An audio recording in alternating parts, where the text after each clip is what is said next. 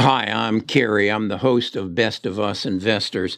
And it, it is truly best of us, not just Kerry. We're a tribe. We're a group of people who try to work together to make better investment decisions.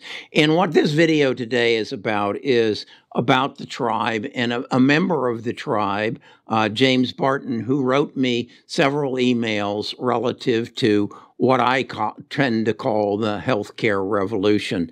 And his his initial inquiry was, Kerry, you made a video some time ago where you talked about a gentleman uh, who wrote for Forbes magazine uh, by the name of Clem Chambers, who said he was basically a value investor and never invested in long range technology, and that he had discovered uh, a new technology and two stocks that were going to be a part of his portfolio for the rest of your his life.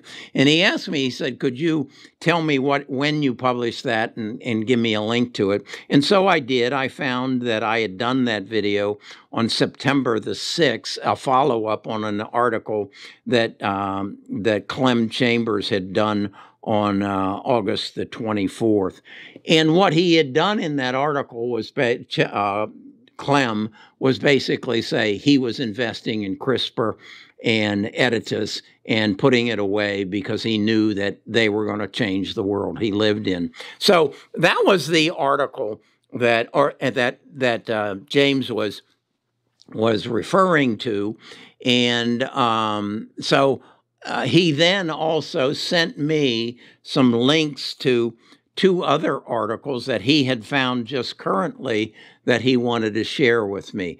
And, and why I'm doing this is I want you to understand the depth of what I call our tribe uh, a group of people that li- r- meet at our Discord. We regularly have Zoom meetings, and we don't discuss so much what's happening in the market today, but instead what's happening in the future and how it's going to change our lives so much. So I think it's important, and I want to share the articles that uh, James sent to me because they're very current, and I think they're going to open your eyes up to some things. And then James has some anecdotal stories as to why he chooses to invest the way I invest and the way he invests. That's what this video is about. I think you're going to come away with it and say, Wow, I had never thought about that because I also want to reflect on some other things that have just recently happened. And that was last week's appearances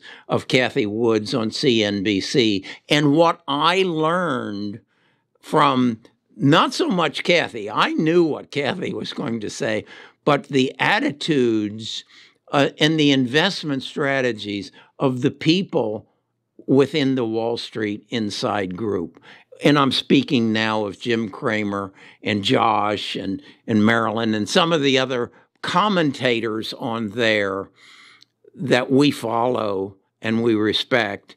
And we, I really got some insight, and I want to talk about that as well. But first of all, let's get this I'm not your financial advisor out of the way. Best of Us Investors presents Kerry Grinkmeyer.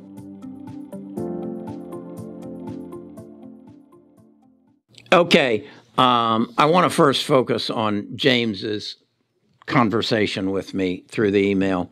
Um, he shared with me after I uh, shared the the article with him or the, the the video with him that he's actually been in CRISPR since uh, uh, 2018, and he said it, he he he got involved in CRISPR because of something that happened to him in 1999.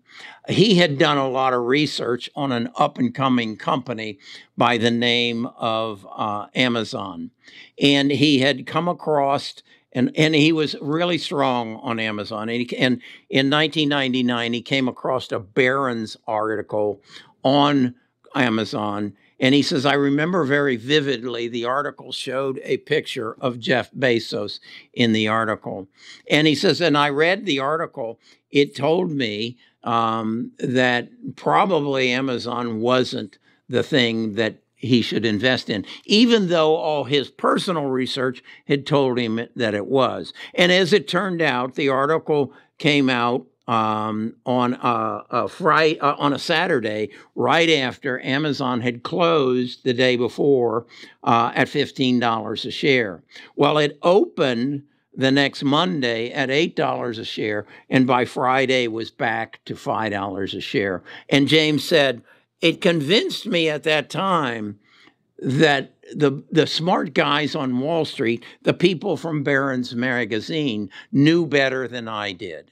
That I was wrong to think that a company by the name of Amazon, who was in the in the book business, had some potential. He said, "Well, I slept on that for a number of years, and then I realized as I watched what I thought was going to happen to ha- Amazon happened to Amazon, and it turned into a multi billion dollar corporation, even a trillion dollar corporation, that the people on Wall Street don't really know what they're talking about. They don't have the insight, they don't use the proper tools to, to look beyond 90 days or 180 days or even 365 days. They just don't play the game that way. He said, So uh, I adopted an attitude that I was going to do my own research, I was going to do my own reading. And he said, as a result of that, in uh, 2018,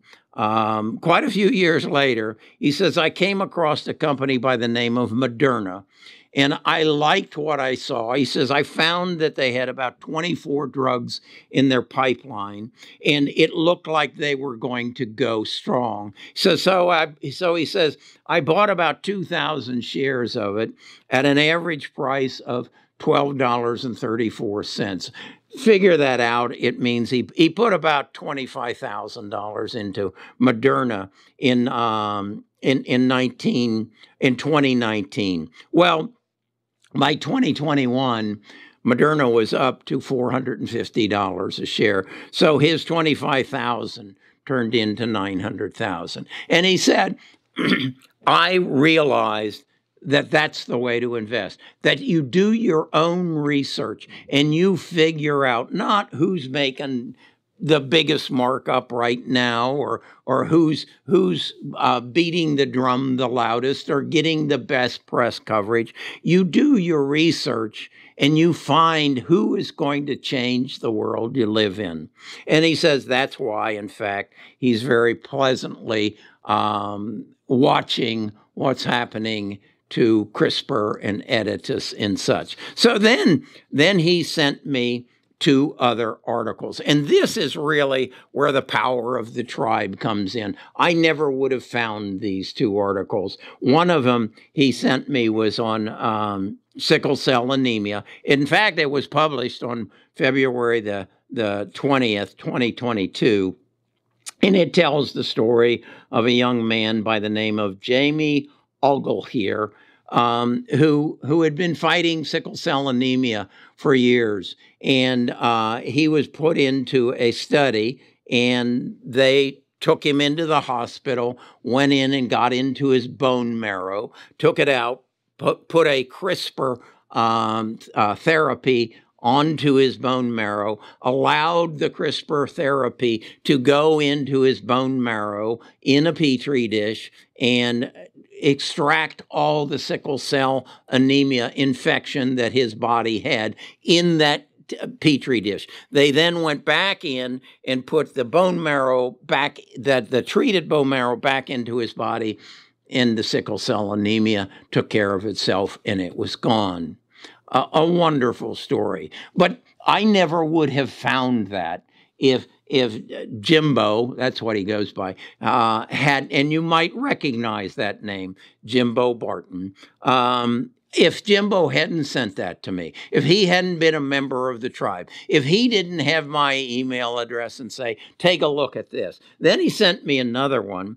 Uh, it was it was written on uh, February the nineteenth of this year, and it tells about CRISPR's use uh, to to uh, replace the mutation against Alzheimer's uh, by doing cell editing. And what it basically says is it's almost a reverse therapy that they have found in some people's bodies. They have a mutation that gives them a 65% chance, greater chance to live to 60, to live to 85 without Alzheimer's as opposed to the rest of the general population. And that how by going into the body with CRISPR and extracting that mutation and then using it in other people's bodies, you can find another way to use CRISPR and the CRISPR science to cure um, uh, Alzheimer's.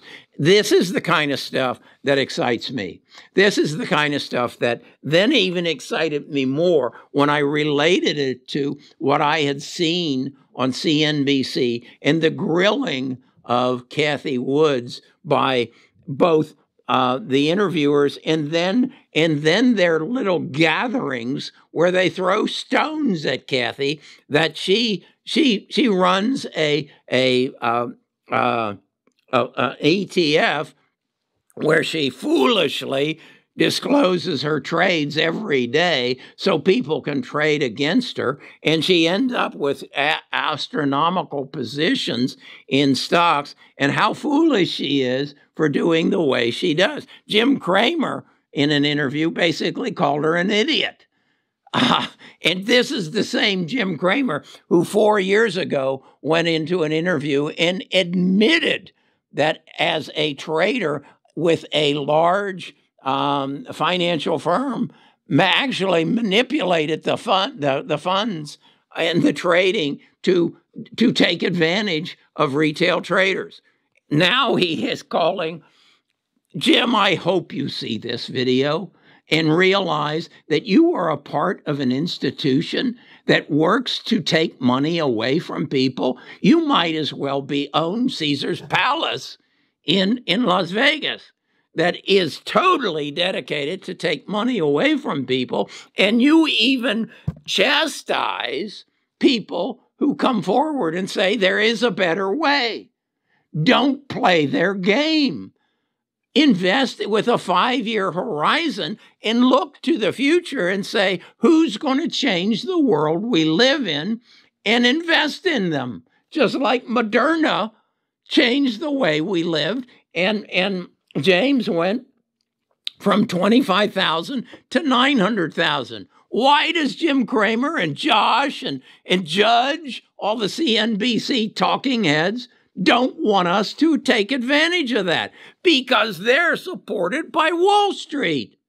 Don't you get this? This is a rigged game. So that's kind of my rant on that. But I did want to do one other thing.